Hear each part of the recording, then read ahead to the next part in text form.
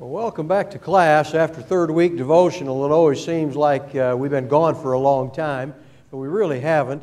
And uh, you might remember that we are in Matthew chapter 19, and that's an important chapter. It covers some doctrinal material that's rather important and uh, often misunderstood today, so we're spending some time combing through that. I do have extra copies of the study sheet if you need one on Matthew 19. Is there anybody who needs a copy of that? I've got plenty. I'll let you search the crowd. Thank you. Anybody else who needs a copy? That's just to give you something to follow along with and kind of figure out where we're at, and it'll touch on many of the things that I'll bring up in class and uh, give you a memory tool to take home with you. I hope you spend some time in Matthew 19. Uh, you'll find that uh, as you travel around the country, you may find different teachings on this subject if it's ever brought up. Uh, this is not a popular topic to talk about. I know I talked to one brother in Christ many years ago, and uh, he's rather popular in the brotherhood. And I had some questions about this particular topic, and so I trusted him and I called him and I said, uh, Can you talk to me about this? And he said, Oh, said, I can, but it's my least favorite thing to talk about. And uh, I said, I understand. It's a tough topic. It touches lives, it touches homes and families. But we need to talk about it. And uh, hopefully, this will be preventative for some, instructive for others, helpful as a tool to talk about with those that you know, and uh, every once in a while the topic comes up. One of the problems that I see with this, we're talking about marriage. We're talking about marriage and uh, what happens if a divorce occurs. And uh, what, what happens if it's not the way God says it should be. The problem with this is it's taught so many different ways in so many different places. One congregation may practice loving discipline to try to save a soul in regard to this particular topic. And what usually happens is whoever it is will travel around until they find another congregation somewhere who teaches it the way they like to hear it. And tell them everything's all right and everything's fine.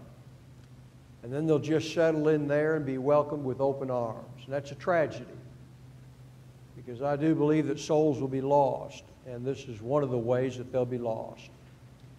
And so uh, we're going to spend some time talking about this, and I invite you to open your Bible to Matthew chapter 19, and we're going to pick up our topic uh, back in verse 3 and read down through verse 9 and begin our comments again.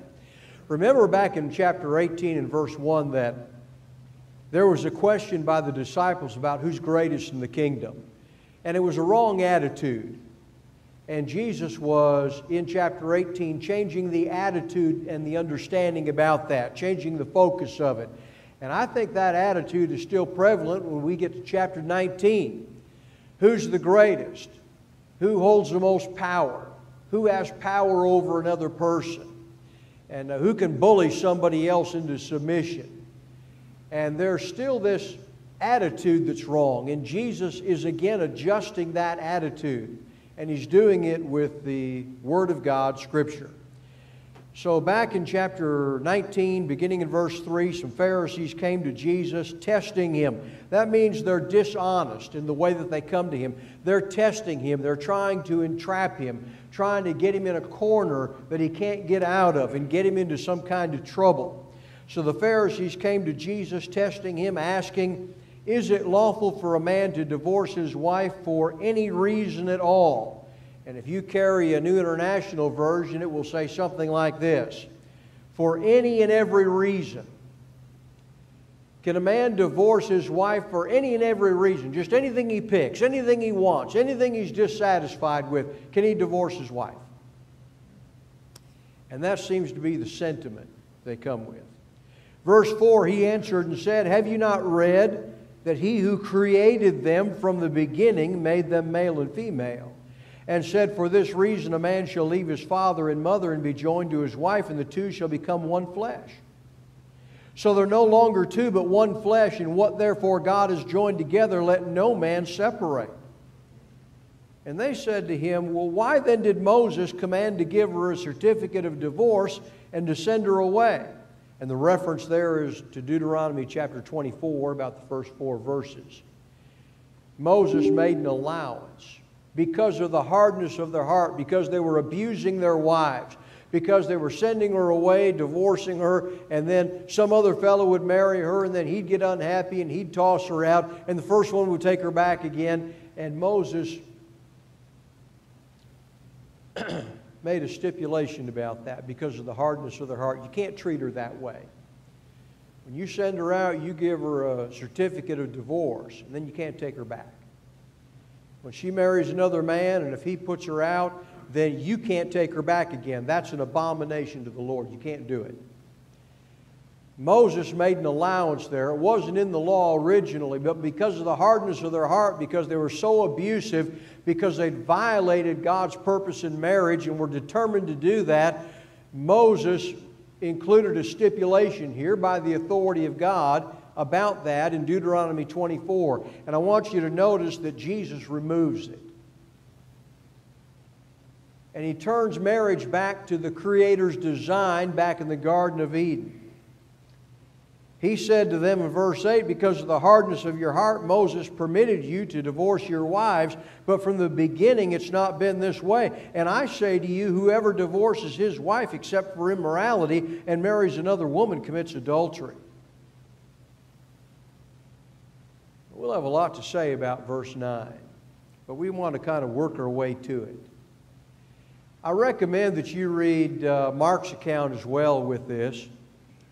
In Mark's account, Mark chapter 10, verses 10 through 12, he places this comment uh, about uh, that would fall in line with uh, about verses 10 through 12 of our text in Matthew. He places that in a more private setting. The disciples come to him in a house and they ask him about the topic. They ask him more information about it. Mark 10, verses 10 through 12, in the house the disciples began questioning him about this again, and he said to them, Whoever divorces his wife and marries another woman commits adultery against her. And if she herself divorces her husband and marries another man, she's committing adultery. So Mark's account doesn't include the exception. Matthew's account does. We need to piece them both together. The exceptive clause is there in the teaching of Jesus, but Mark's account doesn't include it, but Matthew's does. You get a fuller picture by bringing it all together.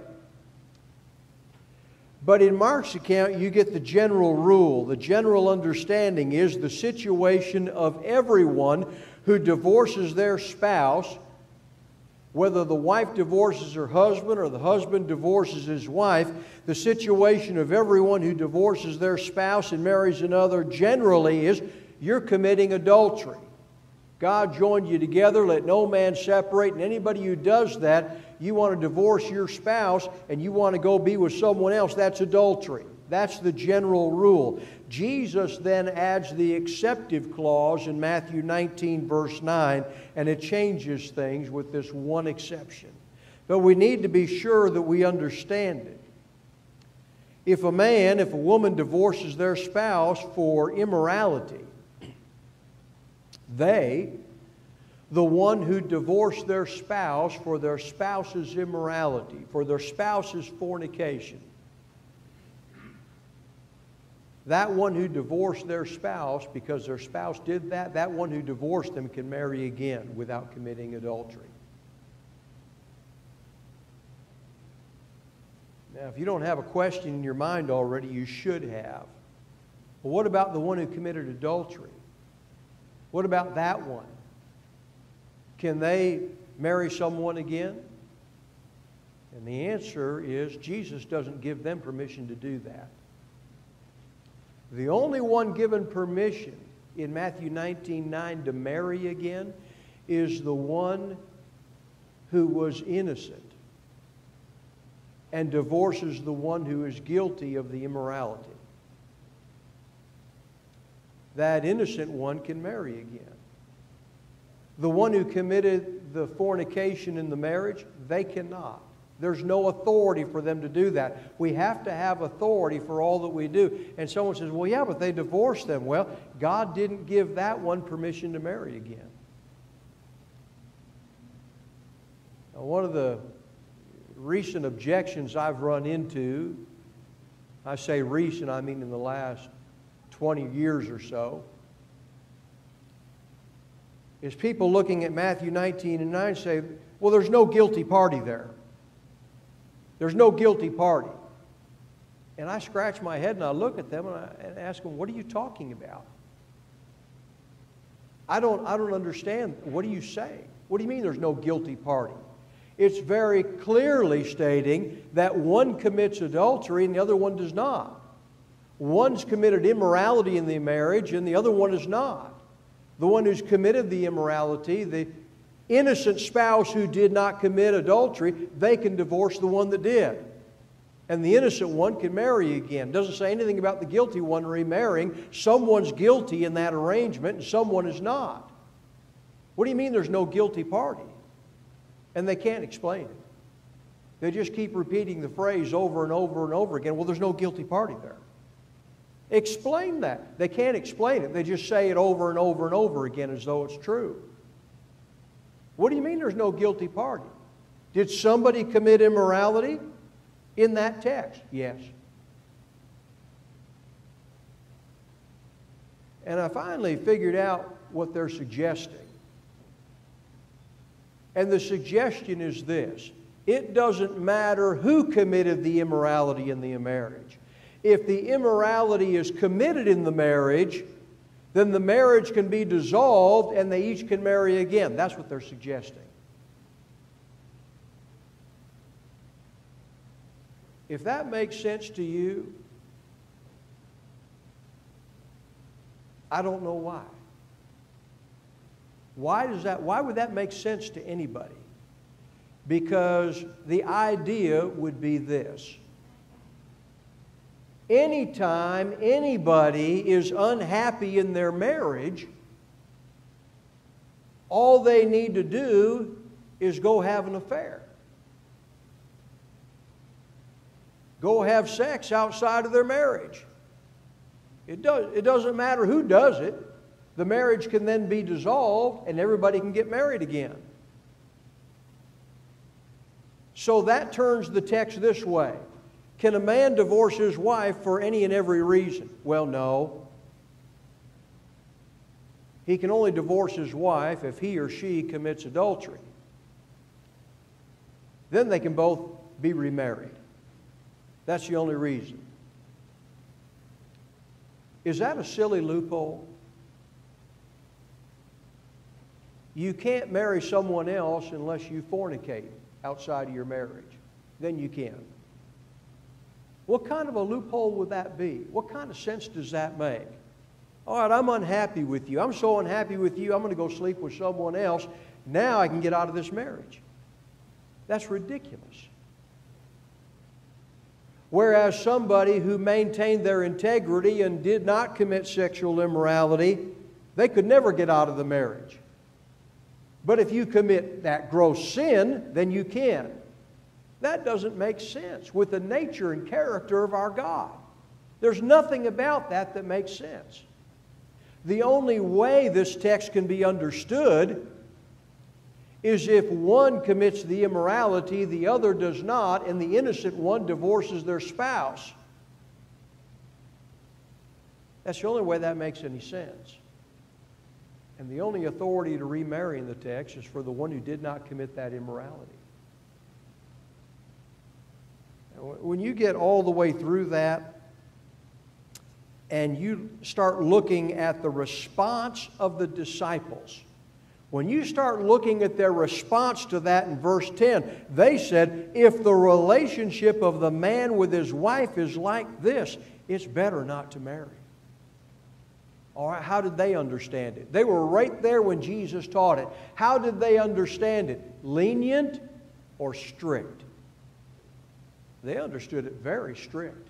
If that's the case, if that's the way it is with a man and his wife, It's just better not to get married.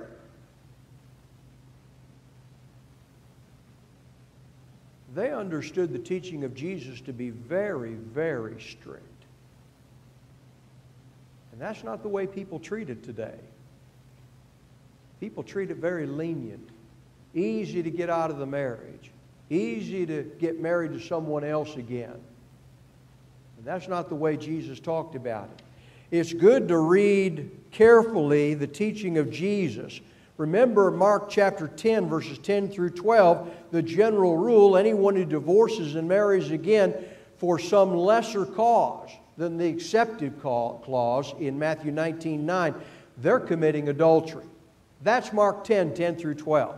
Anybody who divorces for any other cause, they're committing adultery when they marry again. Matthew 19 9, the one whose spouse is sexually unfaithful in their marriage can be divorced, and the one divorcing them can marry again without committing adultery. Now I want you to look at Matthew chapter 5 verse 32. We covered this a long time ago, and I don't know if you remember that at this point, but we need to touch on it again. In Matthew 5 verse 32, we're all the way back in the Sermon on the Mount. Matthew 5:32, "But I say to you that everyone who divorces his wife except for the reason of unchastity makes her commit adultery." and whoever marries a divorced woman commits adultery. I want to be sure you understand the way the verb tense is there. In Matthew chapter 5 and verse 32, this is an aorist tense. It's already done. And it is a passive. This is something he does to her. And the idea is that anyone who divorces his wife for any reason except her unchastity makes her an adulteress. Passive tense. He has done this to her.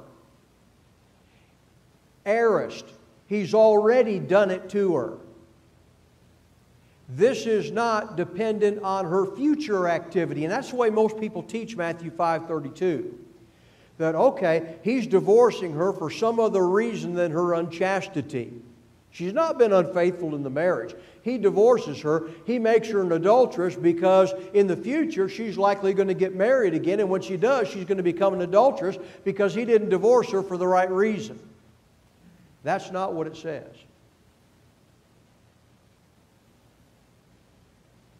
When he divorces her for a reason other than her unchastity, aorist tense, he's already made her an adulteress. Passive tense, he's done it to her. It's not what she's going to do to herself later, it's what he has already done to her.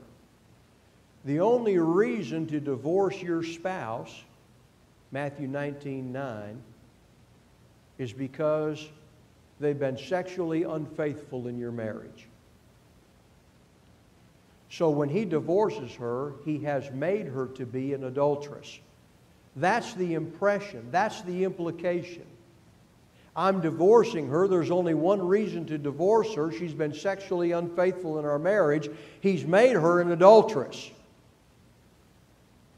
the end of Matthew 5:32, whoever marries a divorced woman, one way or the other, whether she is divorced because of her unchastity or whether she's been divorced for a lesser cause, whoever marries the divorced woman commits adultery.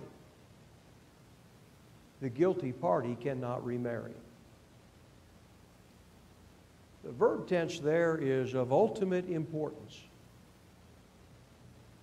And most everybody I've ever talked to has missed that. And it's important to give good attention to the way the text is actually written. We come back to Matthew chapter 19 and verse 9. Whoever divorces, aorist tense, the event or act of divorce, and marries another, aorist tense, the event or act of remarrying, commits adultery, present tense. Hear the tense change? The verb tense changes. That person commits, present tense means, and keeps on committing. Again and again and again and again and again, over and over and over into infinity. Present tense. That person commits and keeps on committing adultery, an illicit sexual relationship every time. Every time there's sexual activity in that new marriage, it is committing, committing, committing adultery. Adultery is sexual sin. The adultery is not just marrying again. The adultery is committed every time there's a sexual relationship in that new union. They have no right to be together, and they keep on committing adultery. As long as they're in that relationship and performing that activity, they're continuing to commit adultery. And the only way to stop committing that adultery is to get out of that situation, get out of that unlawful marriage, and stop that kind of activity because it will never stop being fornication. And someone makes a plea, well, what if, uh, what if you know, they were in this unlawful marriage and before they ever became Christians? What, what happened? Okay, they didn't even know about this. They, well, one of the interesting things, the way Matthew 19 is written, is that Jesus tells them very clearly whoever Verse 9 Whoever, I don't care if you're a Jew, a Gentile, a Christian, and not, whoever, everybody is accountable to this teaching. Okay, what if it was before they became Christians?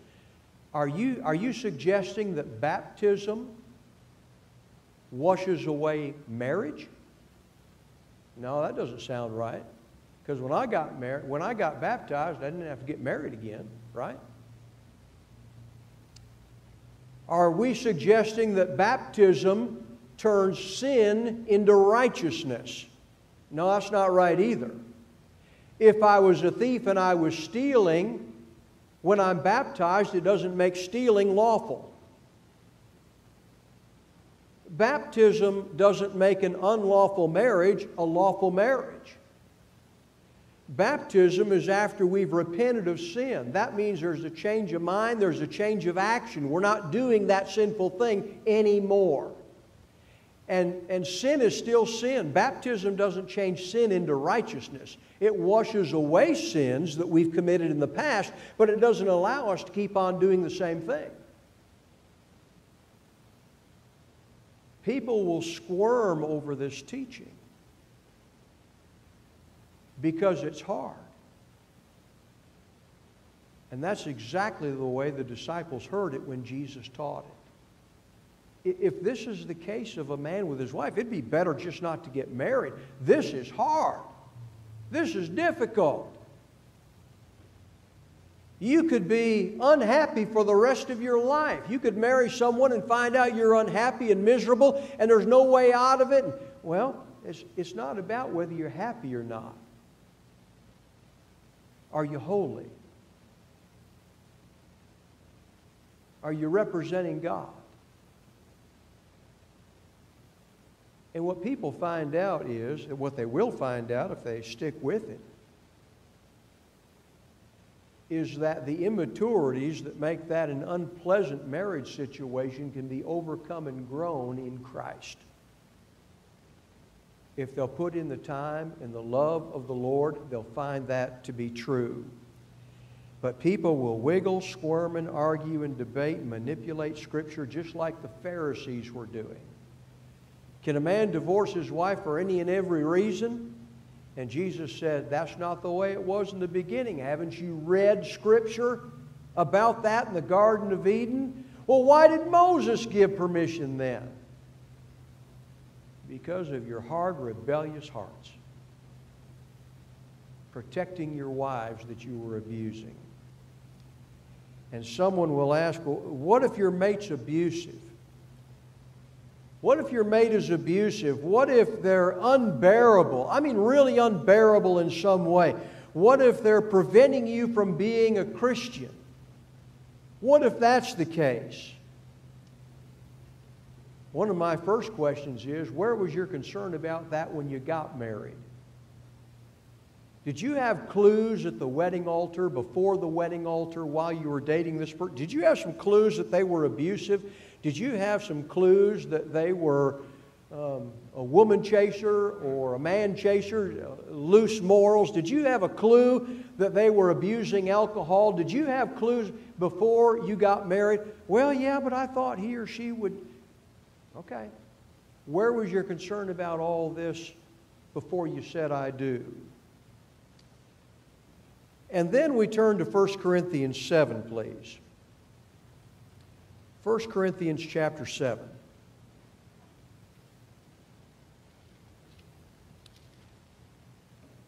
We're going to put an option on the table. If it's absolutely necessary. 1 Corinthians 7, verses 10 and 11. But to the married, I give instructions, not I, but the Lord, that the wife should not leave her husband. But if she does leave, she must remain unmarried, or else be reconciled to her husband, and that the husband should not divorce his wife if absolutely necessary, if he's abusive, if you're protecting the children, if he won't allow you to be a Christian, if there's some situation like, and it's absolutely necessary, yeah, you can leave, but you can never marry again. You remain unmarried, or you be reconciled to your spouse. One or the other. You do one or the other but there's no permission there down the road that you're going to be able to marry somebody else. So when you get lonely and you crave that kind of companionship, be reconciled to your husband, be reconciled to your wife, or remain unmarried. Those are your choices. There's no alternative here that changes Matthew 19 9. Marriage is not a me generation thing. It's it's, it's not doing whatever makes me happy. But I'm not happy. And I know God wants to, I, He wants me to be happy. He wants you to be holy.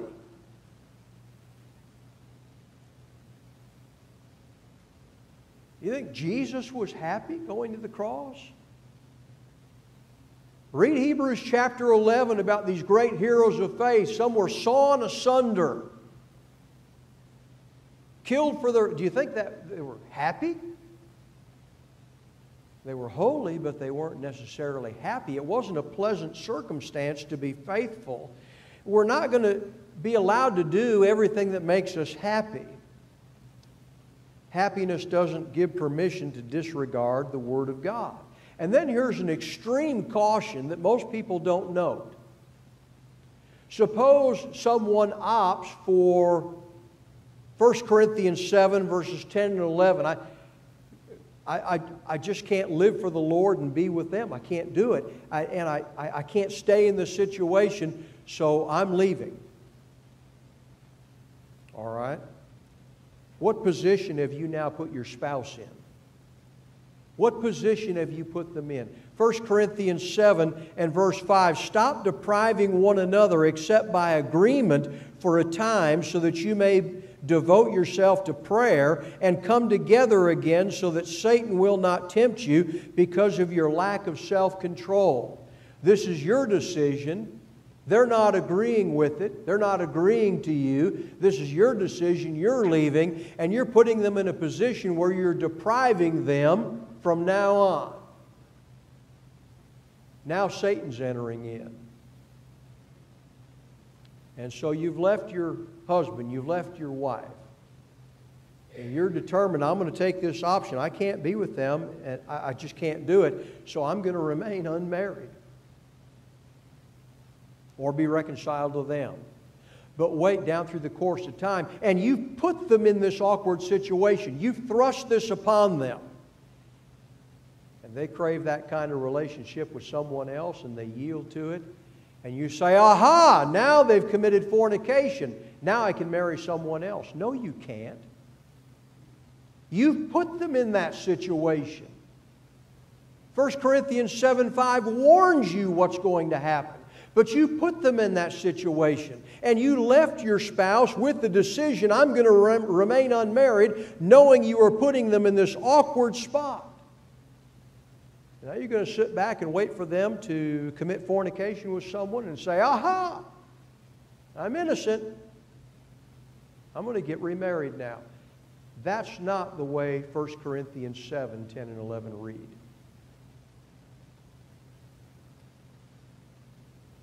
People have gotten pretty loose with the sanctity of marriage, with the permanence of marriage, with the Bible teaching on marriage. God has a design in marriage. And it is supposed to look like Christ and the church. Ephesians 5. That's what it's supposed to look like. Our marriages are supposed to look like God's relationship with us in Christ. And those loopholes I've just discussed, they don't look anything like that. They look like the world.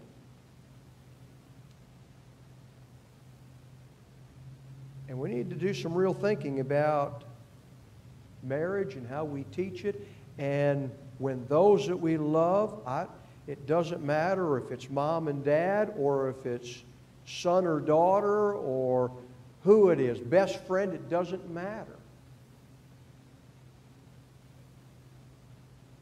And all of a sudden, we start rethinking the teaching on marriage and divorce, and we start creating all these loopholes because we want to hold on to that relationship and act like everything's okay. In other words, I'd rather keep the relationship on earth, disregard what the Bible teaches about it, and if they're lost eternally, I really don't care. I just want to maintain status quo in this world and everything's fine. We need to understand what we're doing when we stand at a wedding altar. And our culture has made everything, including marriage, so disposable so easy to get rid of. And we have so many of our young people growing up and just opting, I'm, I'm not even going to get married. I'm not even going to get married. Because 50% of all marriages fail, so I'm not even going there. We're just going to live together. Is that somehow better? In, you know, in the old days, we used to call that living in sin. And the reason is it's continual fornication. It'll cost people their souls. It's not better. You haven't avoided anything.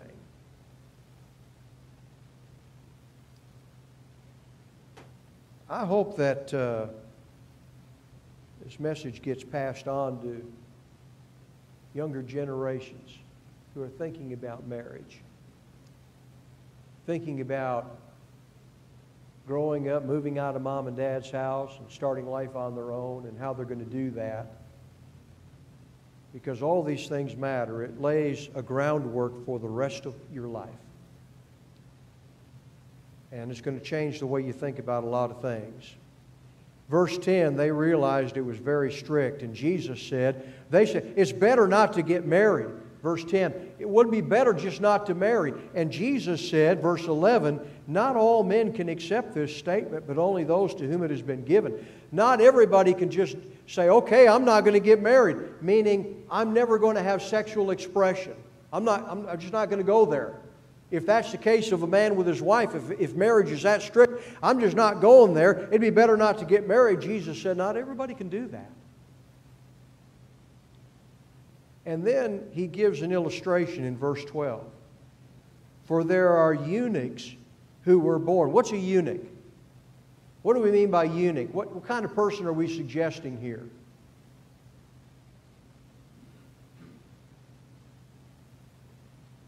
Might be tough for you to figure out how to word that, so I'll help you. Someone living a celibate lifestyle. no sexual expression. There are eunuchs who were born that way from their mother's womb, just zero desire there. And there are eunuchs who were made eunuchs by men. And there are also eunuchs who, were, who made themselves eunuchs for the sake of the kingdom of heaven.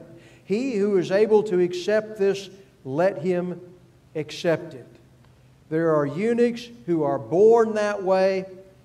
Some are made eunuchs by men, anthropos, mankind. They're made that way by mankind. Somebody does that to them, forces it upon them in some way. And there are those who abstain from sexual expression because the kingdom of heaven is more important than marriage that God does not allow. I will understand that I have found myself in this position where God does not give me authority to remarry. And for the kingdom of heaven's sake, I will accept His word and I will live my life in a celibate way to love God and for His kingdom.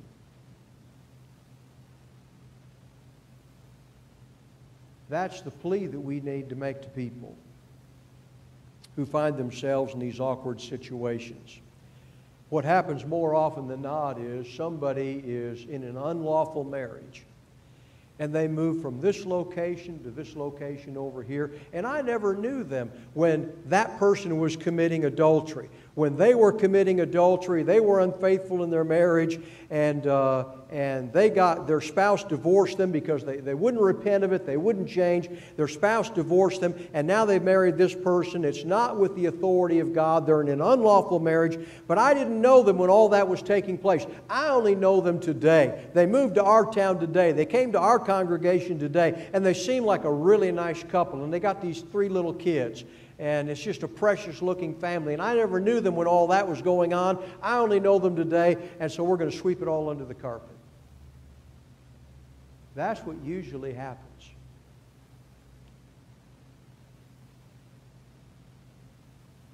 And that just sweeps souls under the carpet. It gives them a false sense of hope of going to heaven when in fact they're continuing in sin. This is a very difficult teaching, and I, in preparing for this, didn't expect that everybody was going to agree with it. And I may get some discussion about that later, but that's all right. It is my responsibility to teach you what I have studied and come to understand in the Scriptures. And so I hope it's helpful to you. I hope it will arm you for the future and help you in the present and uh, we didn't have much time to talk about things. It's 7:59 going on 8 o'clock, and there's not really time to get a question and answer one. So that will give us opportunity next week to open up class and say, what do we have to talk about from last week? And that's the way we'll begin. All right, we are going to dismiss for tonight. Thank you for your good attention.